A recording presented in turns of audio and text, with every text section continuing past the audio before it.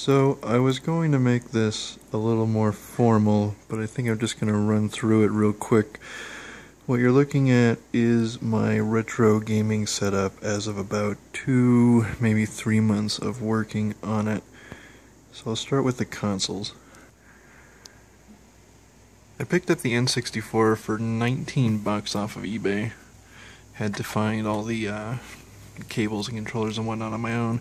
Unfortunately, it met with a shipping accident, which I'm hiding with electrical tape. If it really bothers me, the consoles alone run about 20 bucks.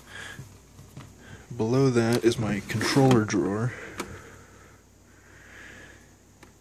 And what I wanted to show you was the N64 controller, also bought off of eBay. Of course, it said the control stick works like it's brand new, which was bull.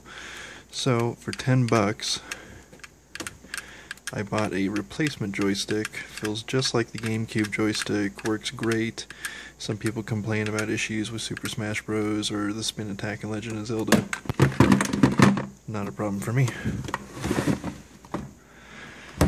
GameCube we found in a box under our bed. Um, it's my wife's.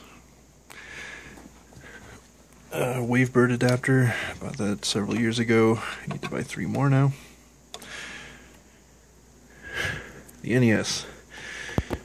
This is the second NES that I had to buy. Originally, I had thought about getting a Famiclone, but compatibility issues with Castlevania 3 and Paperboy and other games I wanted to play, Battletoads, finally broke down and bought one. The first one I got looked a lot worse than this one. Wouldn't play anything I put in it. Green screen, no good. It said that it had just had the 72 pin adapter replaced, so that's what made me buy it. This one, I returned the first one. This one was found in a closet somewhere, um, as is condition. I bought it and I had the foresight to also buy a replacement 72 pin adapter, which you obviously can't tell, but it's in there. When I first got it and plugged it in, I got the flashing power light, the flashing blue screen. Nothing worked tore it apart, replaced the 72 pin connector, and every game I put in it fires up perfectly. It's still a little dirty, but it works. This is my SNES Junior that I found in a cabinet downstairs, also missing all the cables. Um, it's going to have to be replaced at some point, simply for the fact that it doesn't support S video, which is going to matter as soon as I replace my TV. In the meantime, it works great, and I have performed the modification on the system to allow it to play Super Famicom games, which I'll show you in a minute.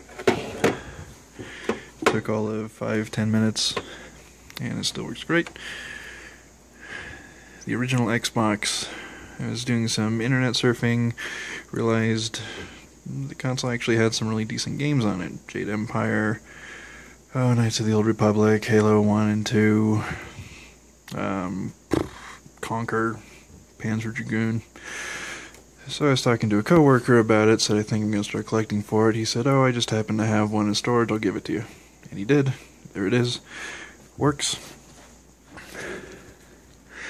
Sega Genesis 2, I have a Sega Genesis 1 downstairs, but it doesn't support proper composite video um, or S video for that matter. Uh, so I had to get a Genesis 2, story of everything working right. I bought it off of eBay, plugged it in, it turned on. My Dreamcast. Yes, burned CDs. Made sure when I got it, it is a Model 1. Model 0s and 1s will play burn backups. Model 2s will not. UMD for it. Super Slim PS2. I actually don't remember them looking this way. I thought the Slims were just a little bit thicker, but there it is.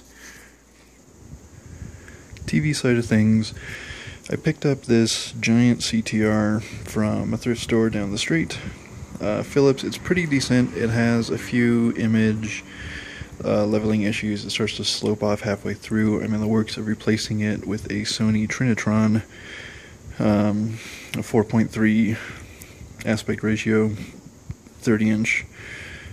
Um, this TV actually only gets 27 inches when you're playing a game in 4x3 ratio, which is the only way to play it. So I won't actually be losing any space by moving to a smaller TV. In the meantime, it works great. Up here is a switch box for all eight consoles.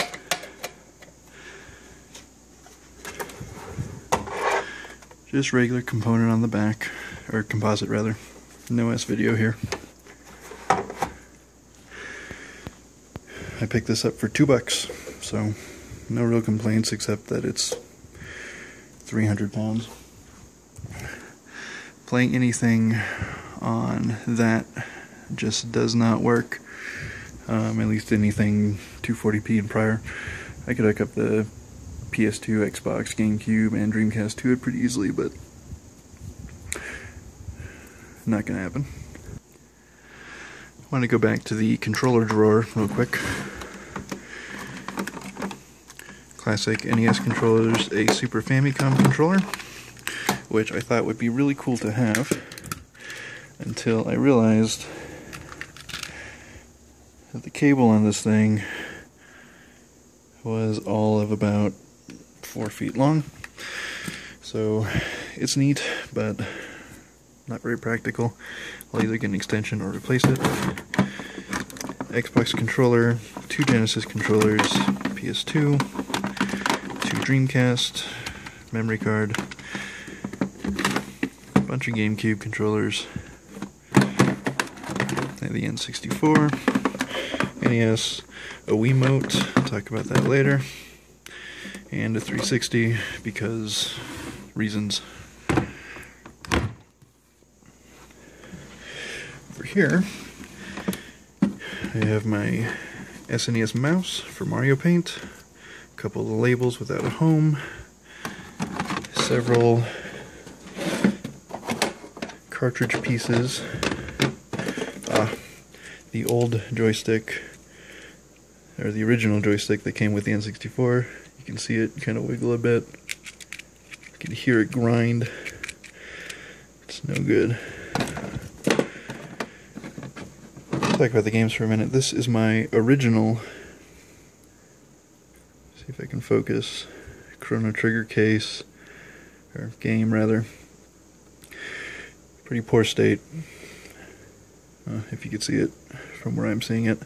Just old, kind of dirty. That's nothing compared to this. Poor, poor Donkey Kong. Speaking of Donkey Kong, I don't have it on a shelf yet. But here's the complete trilogy for Donkey Kong Country 1, 2, and 3 for the Super Famicom. And in here is Mega Man X, which has nothing in it. I'll show you why in a moment. And finally, various casing components. Uh, I had some Universal game cases in here. I don't know.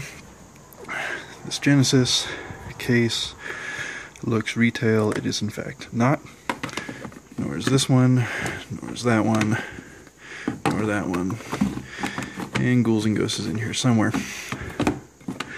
I actually had to remake, well, didn't have to, but wanted to remake all my Genesis cases because there's no real rhyme or reason to the the spine designs, which again I'll show you in just a moment.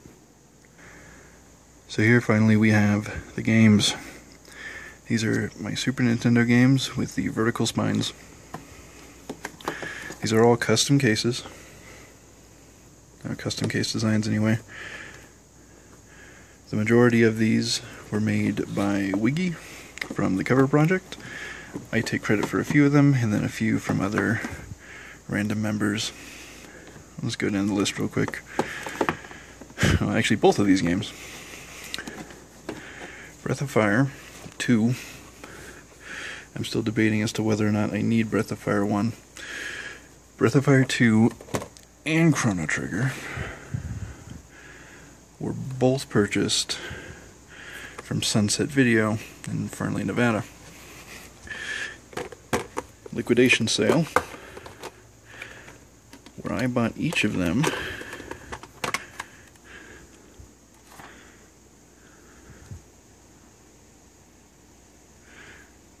Come on, you can do it. Oh, I guess the price isn't on there. Well, I bought each of them for $10.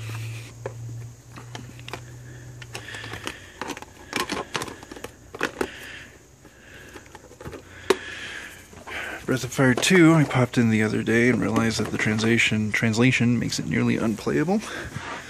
I'm contemplating getting a reproduction that had the game retranslated, but $50 for a game I already have is kind of pushing it, but it just might have to happen. This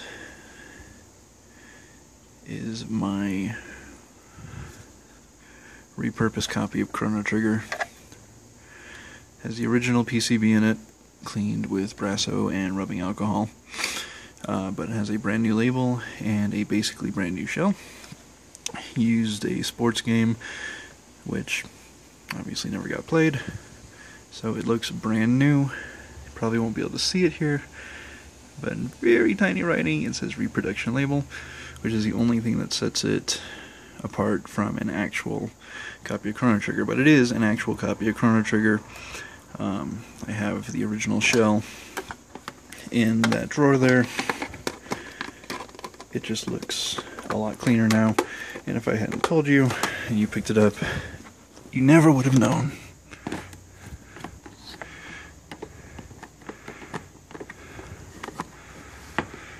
Here's Donkey Kong Country 1, 2, and 3.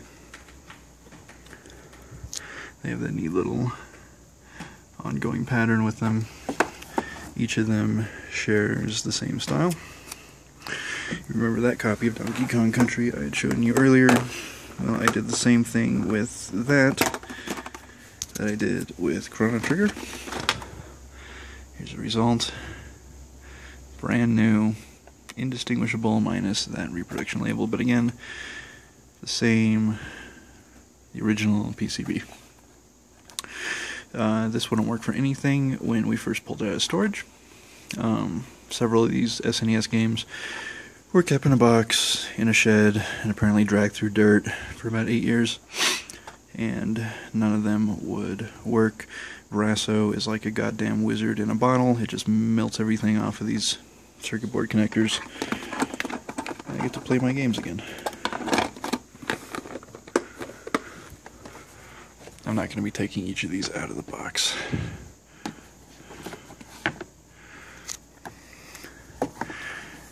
Donkey Kong Country 2. I will take this one out of the box. Only because this one has an actual custom label, which I kind of mucked up on, but looks good enough when you look at it head on. There's Diddy and Dixie being cute monkeys also has a new cart shell. Um, this cart shell is actually special. Uh, it is brand new, like off the press, brand new. You can tell by the plastic screws here. Um, it actually just pulls apart. Yeah, you need two hands to do it, but take my word for it. You can just pry this open. You don't need a, a tool or anything.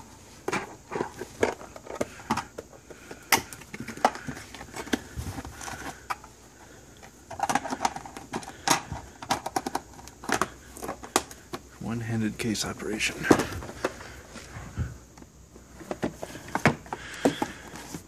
Donkey Kong Country 3 is still in the original cart. Uh, it's pretty dirty, but it wasn't nearly as bad as the first two.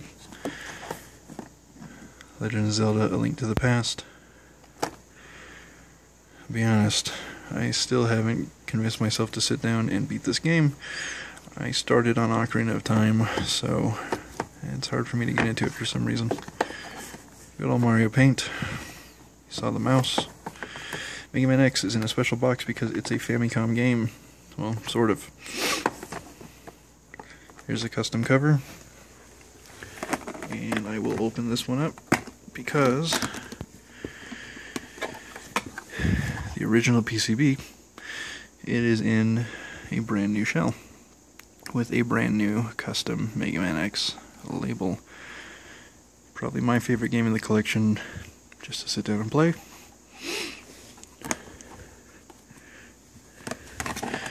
Because Mega Man. Now I'll show you these boxes real quick. These are universal game cases. The same case can be used to hold N64, SNES, Sega Genesis, 32X, uh, just about anything except SNES games, which I'll get to in a second.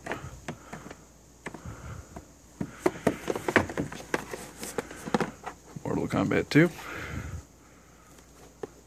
A lot of people call it their favorite Mortal Kombat. I'm gonna be honest, it was mine for the longest time, but compared to more technical fighters, I I don't enjoy it as much as I do Street Fighter or Mortal Kombat 9. Power Rangers the movie. Excellent beat 'em up. SimCity.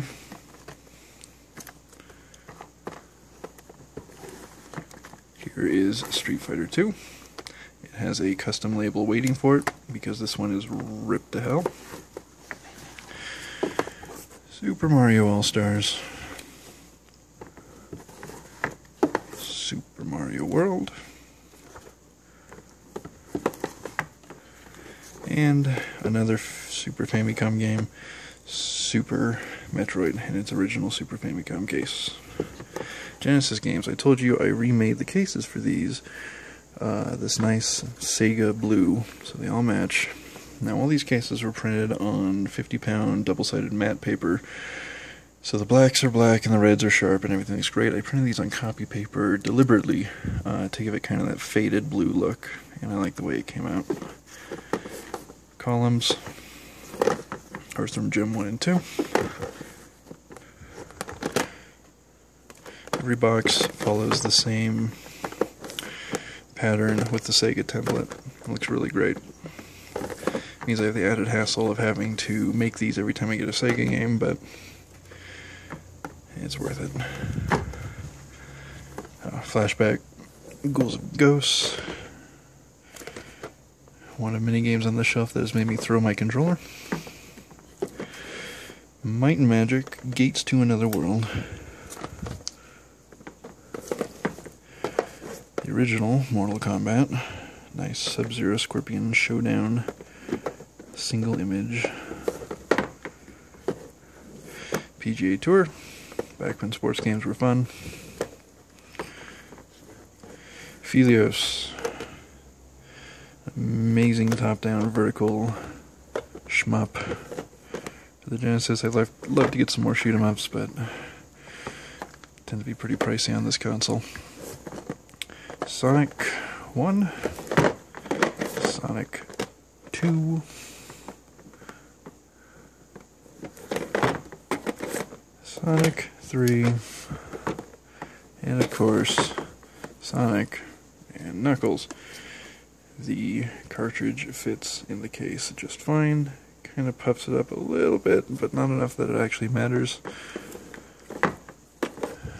World of Illusion, starring Mickey Mouse, and Donald Duck, sequel to Castle of Illusion, both great games.